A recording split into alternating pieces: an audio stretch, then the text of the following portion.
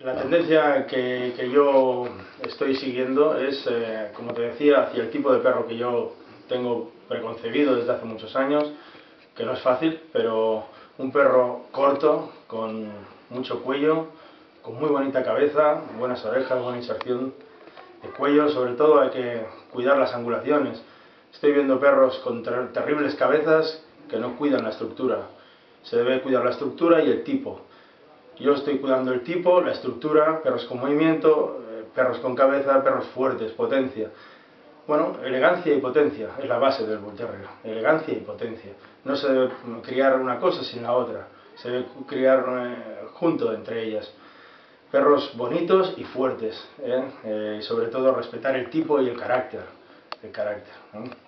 Esto es ahora la tendencia. Ese es el camino que tengo desde hace tiempo y es el que pienso seguir llevando bueno, tengo perras muy fuertes, tengo perros, quizás he tenido mala suerte con, con el problema que hemos tenido con Awenjul, Astronomy Royal, que era el perro que tenía que significarlo todo para mí en la raza.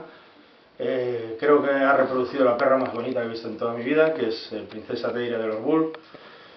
Pero bueno, eh, tuvimos esa mala suerte, bueno, ahora eh, la tendencia es esa, la tendencia es criar perros con tipo, con estructura, con movimiento, con cabeza, con temperamento. Es todo, pero es necesario.